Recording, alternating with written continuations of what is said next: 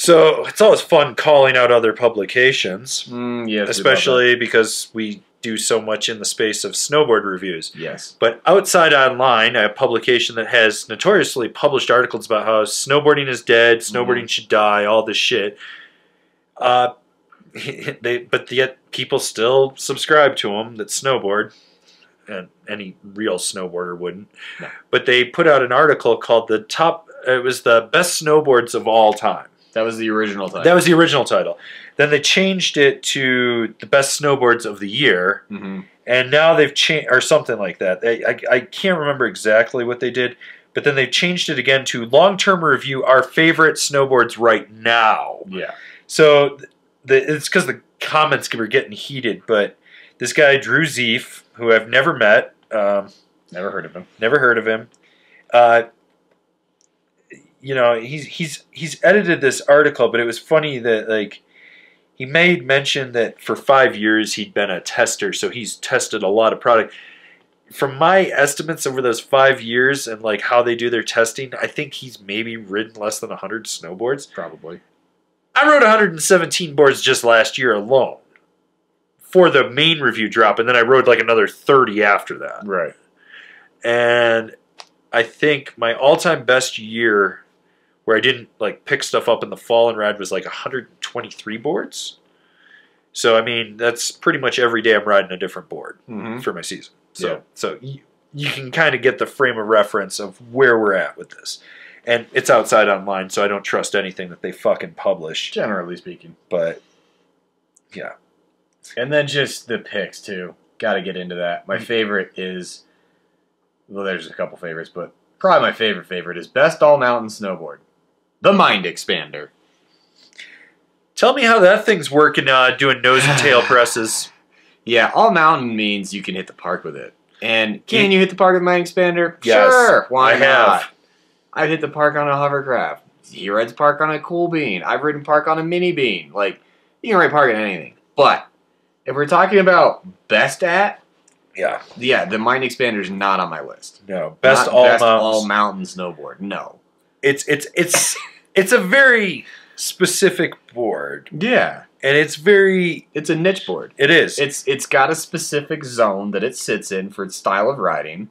it's and a that's car, what it excels at. it's a it's a pow it's a it's a it's a pow surfing board that you can ride a groomer if you have to to get back to the lift is, is, is Yeah. it a board that i would ride on firm ass hardpack no that nose just skips around and you Mhm. lose so much on it yeah, doesn't have a strong enough contact. point no it the nose to doesn't that's yeah but what's funny is so that's the best all mountain board but then the runner up is the never summer shaper twin like you have gone two opposite ends of the spectrum there. Yeah, the only thing you've got going for you as far as similarities is maybe width. That they're both a little bit wider than average. right That's about all you got.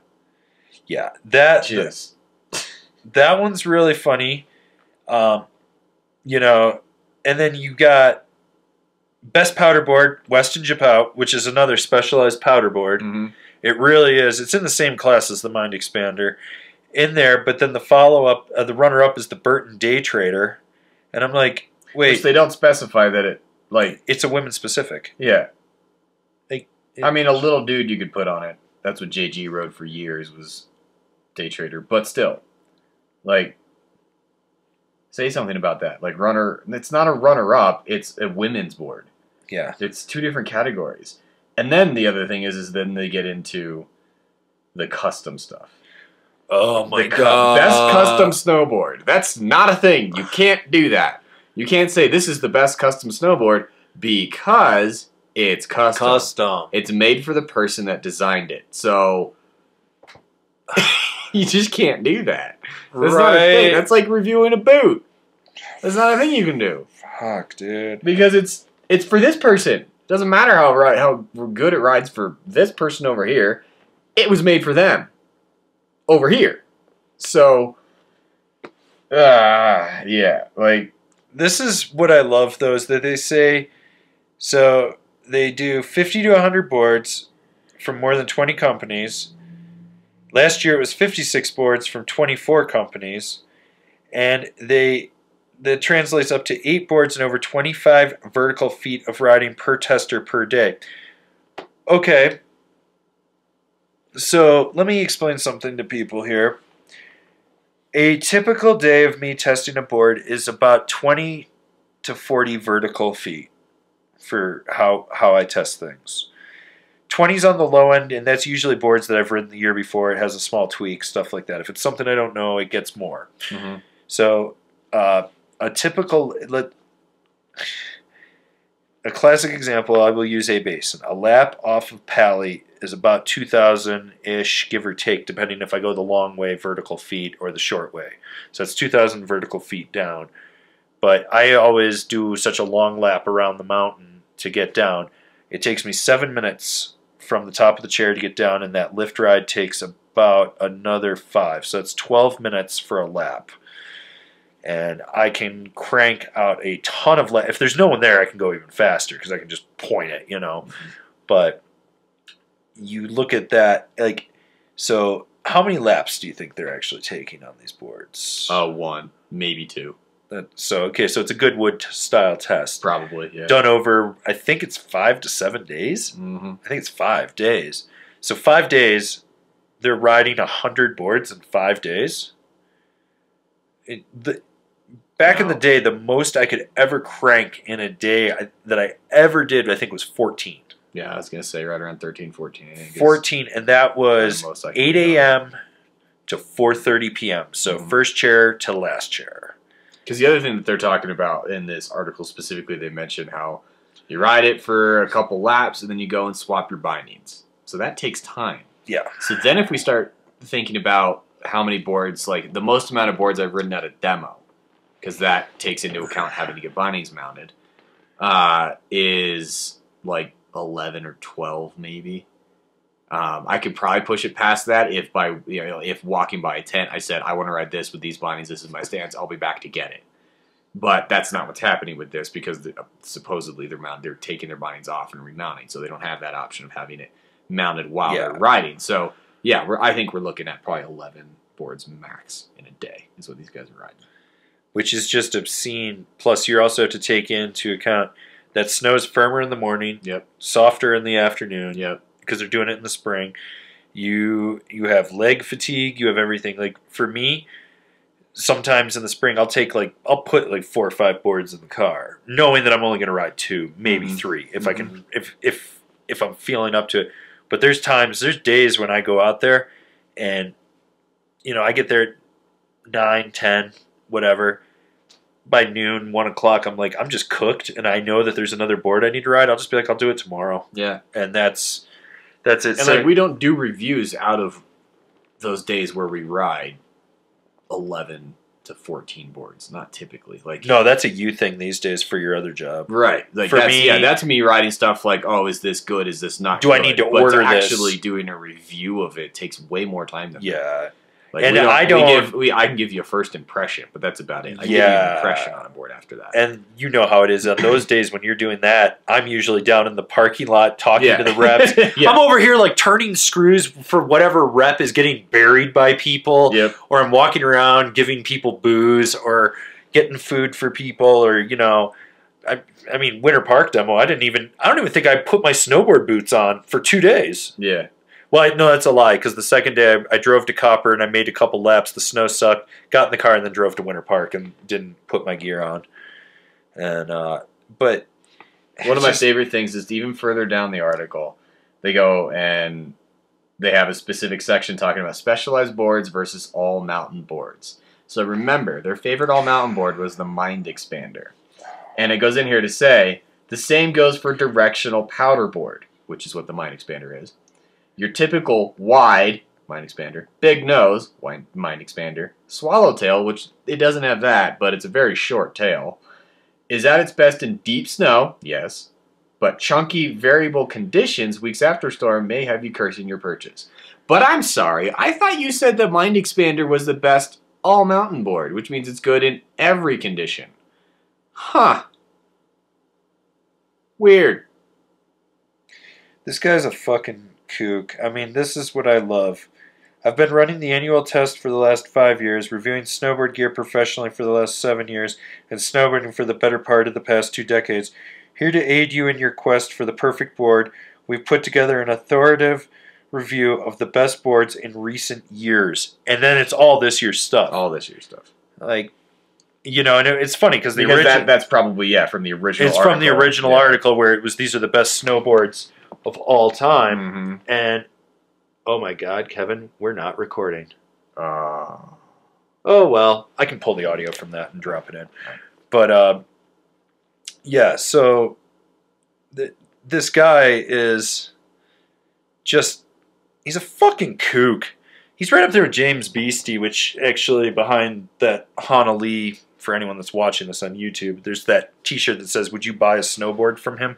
The reason that shirt exists is because there's a lot of fucking kooks out there now pushing product that they shouldn't or talking about shit that they don't know what they're saying. And it pisses me off to no end. My first job in any form of a shop, I was 15 years old. I am 38. 38. I mean, you look at that. I've now done this for more than half my life. And it pisses me off. It's like one of the, there's a quote on the Good Ride that's like, we're not a retail shop. We're not this. We don't have any background from working retail. Well, just so you know, almost anyone in the snowboard industry started in a shop. yeah, almost everybody. Almost everyone. Yep. That background means so much to people, whether you worked in a Mhm. core shop or a corporate shop. And my big thing is like, I've worked super corporate, I've worked super core, I've worked in everything in between. I've pretty much sold every brand under the sun. There's like a few here and there, and some of like the newer ones that I haven't sold, but I've been everywhere that I could, and I've done everything that I can. And it's one of those things where this shit just pisses me off because it's like these guys, they're so fucking kooky. And I remember when I got, um, they talked about having me go to Goodwood, and I was like, okay, cool. So, so we're gonna be there for how many days? And I was like, so I have to ride more than two boards in a day? I was like, that doesn't seem right. yeah, I was like, you know, and then I talked to a guy that actually was a tester in it, and he showed me he actually had a spare one of their sheets, and he's like, it was all numbers, and he's like, all you do is you make two laps down the middle, shoo, shoo, shoo, shoo, shoo, shoo, shoo, done. Two laps through the park, done. You know, if you're riding a park board or this or that, and I was Yep. just like, wow. And then I knew some of the people that got invited to be testers, and I was like, I would never trust their fucking opinion. no. Not to mention, we've talked to brand owners that have gotten boards back from Goodwood that never got ridden. Yeah, there was no binding ins, Yeah, no binding rash, like no Yeah. no marks on it, like brand new, like but they won an award because they, they bought ad, because they bought advertising. Yeah. Well, we don't have to worry about Goodwood anymore. no, we don't. They're fucking done. But yeah, it's crazy. Like that's why we do these top fives. And realistically, the top fives, it, it, there's a bias in there. I pick the ones that I feel like I want to see sell more of, or that I like more. But they're all good boards, you know. Like yeah, we're never we will never back something that's not good. Yeah. ever. ever. Yeah. I mean, you can see why I did the top five most mediocre boards of 2020. Mm-hmm. That pissed off a bunch of companies. Yes, it did. Oh, they're not happy. Yeah, well, Yeah. don't make mediocre snowboards. Well, I feel bad for Ride in that respect for the Berzerker and K2 because that Berzerker, something was wrong with that Yeah, because I got on it and I didn't have the same issues you did. Yeah, and I think I don't know what that was. And then the K2 Medium, they figured it. They finally figured it out months later what it was. They gave me one that had what was it 12 14 millimeters of camber Mm-hmm. so and i was like that would explain so much it had 14 millimeters of camber in a deep structure like that never Just gonna be weird. Yeah, so it's twitchy. So I'm gonna re-ride that this year, which is fine. But you know, I mean, uh, it's it's it's like I've I've ridden boards that were sent to me after Goodwood and stuff, and I was like, this board's twisted. Like it came out of the press twisted. Mm-hmm. And I call the company or I t- send them, and I'm like, yo, that board's completely twisted. Uh, it's like the dinosaurs will die Perry that I never put the review out for. I don't think I did. At least it was twisted. There's like one. There was. I did a Perry review one year, and then the next year they gave me one because they said they tweaked something. And if you put it flat, like it was heel side contact point at the nose was touching, and toe side contact point at the tail was touching, but the other two were twisted and elevated, and that board would just it rides so crook- crooked and stuff. It's it's also like I was saying in the live stream today. I was like, I was shitting on no bidet. I mean no, No bad bidet. no bidet. I mean no bad day in Gilson. I was like, I'll never fucking review them. I just don't care. I'm never gonna give them a shot because They're shit fucking brands, and they've proven it to me. It's like today with that review of that Cockerel Kung Fu. Did you catch that? That No, I I put out? Oh my it, no. god! So there's this company called Cockerel from China. They're made at the Playmaker factory, which also makes Nitro. And the second those boards came in, I was looking at them. I was like, God, these look so much like a Nitro. And it took me a while, but the board reviewed today, which is the Kung Fu, it's a it's a Nitro Prime, exactly spec for spec. It's a Prime. Like it's funny, Cockrell changed their specs by like one millimeter, and it's like one millimeter. I was like, That's tolerance. that's a That's one of the things that I've learned designing snowboards over the last like six, seven months is like, I don't care if my board comes out as a 159.4. It's a 159, and you're going to Yeah. deal with it because you're never going to measure it. Yep. And side cuts, you really think you're going to go look at a board and it's going to say 7.4 meter side cut and it's actually just a radial 7.4 meter side cut? No. Engineers don't have to tell you those real numbers. You really think the width of your board at the nose is exactly 30 centimeters and at the waist is exactly 25.4? No, it's not. It's not. That's yeah. what we're telling you it is. But it's Fun funny. fact. It's just funny because yeah, so that Cockerel Kung Fu that was a Nitro Prime. They sent me the red hair, and they're like, "It's our carving pow ish board." That was a Nitro wood carver. It even had power pods, which is specific to Nitro. And then they sent uh, the Gang, which is a Nitro Cheap Trills. And I mean, so when I did the review, I was like, "Yeah, just go buy a Nitro," because it's funny. They sell the red hair for a hundred something dollars more than Nitro sells the wood carver for. Well, there you go. And I'm like, this is bullshit. And I, the funny thing was, I actually got to show the guys at Nitro, uh, the U.S. guys, Benny Pellegrino. I got to show him that, and he's like, "Holy shit!" And I was like, "Here's all the photos with everything. Here's the serial numbers. Here's everything." And they're like, "We got to go talk to our factory." And so, yeah. But that's these are the things that you start to realize. It's also Mhm. like it, you'll notice there's going to be a review uh, in 2021 for the uh, for the Kemper Screamer and the Borealis Shaman. Mm-hmm. They're both 159s. They have the exact same shape, side cut, and everything. The flexes are different in there just because of the additives in the core, but that shape is the exact same thing as the niche story. And Yep. the reason behind that is niche almost went to GP87, so they had to open that mold. So they designed it, they did everything. Then they moved um, to Mothership, and then they moved to Kyle after that. So that mold was sitting at GP87. They're like, well, we got to make our money back on it. Yeah. So they open. It's an open mold. So that's how Kemper has it. That's how Borealis has it. Yep. And I can tell you that every th- one of those boards rides completely different, just based on flex patterns. Mhm. But the side cut and the shapes are the exact same. And like you, I could, I saw it the second. I was like, this is the exact same board as this board. Yeah. I mean, I could I could tell looking at it on the on the web page. Yeah. I saw it on the website and I was like, oh, that's that's definitely a story. Yeah. yeah. So, so there's that. But th- these are the things you start to encounter, and uh, it's it's kind of funny. Like I constantly get people sending me uh, links to the Good Rides review of the Bataleon Surfer. They're like, "What is this shit?" This is like the exact opposite of your review. And your review, and like these are people that bought that board, and they're like, "Your review is so spot on to this." Or, or my favorite is the K2 Party Platter for 2020 because you know they twinned it Yep. and cambered it. Yep. And and I quote, "This thing is only good at 13 or more inches of deep powder." And I'm like, or you could go ride park with it because it's a cambered twin wide park board. Yeah. Like maybe you just need to learn how to fucking snowboard. That's what it is. No, that he's gotten better. I've watched some videos. He's gotten better, but he's still not good. Mm. He's a fucking kook. But these kooks, and and this goes back to this whole like social media influencer and this vlogger thing we got going on. You get all these fucking posers in a position where they people listen to them, and I'm like, I literally spend three hours a week trying to correct things that the Good Ride have told people. Yeah. And I'm just like, this guy, no, he's fucking wrong. Like I do it all the time. And I have to explain to people why you don't buy Amazon goggles, which I need to finish that video on the oh, Amazon Oh goggles. man, that has been one of the more difficult things is explaining to people why a goggle needs to cost more than thirty dollars. Believe me, if Oakley could do it for 30 bucks, they would. Yeah, Because you know how many more they would just sell because they have the name? exactly. Instead, people are like, we gotta go buy our Copozz and our, our Jewel and our fucking outdoor masturbator. I'm like, fuck that shit, dude. Those things are such fucking garbage goggles. So, um, if we do get locked down for coronavirus, I guess I got plenty of time. You got plenty of time to do this. yeah, fucking do those goggles. But I'm slowly getting everything together. I got the pellet gun so I can do the ballistics test and uh, show people what happens when you shoot a pellet. Actually, I'm going to shoot a BB, but uh, shoot a BB at uh, a shitty lens versus a good lens and how Mhm. it's going to impact. Like an Oakley is going to be different than a shitty Amazon stamped lens. It's Mhm. going to be doing it. That's why I want to get pellets because the pellet's going to push right through. Right. It'll probably ping off the Oakley, the Smith, the Dragon. It might penetrate, but it's not going to penetrate aggressively. But I'm almost positive if I shoot that outdoor master just by hand flexing that lens, it's going to just shred it. Yeah. Just, it's just going to, that thing's going to look like you fucking hit a baseball into a windshield. Mhm. Just, so this, like all these fucking stupid fucking company, like these media publications that are trying to push into snowboarding because we're got this constriction in our media. This is why it's important to support us. yeah.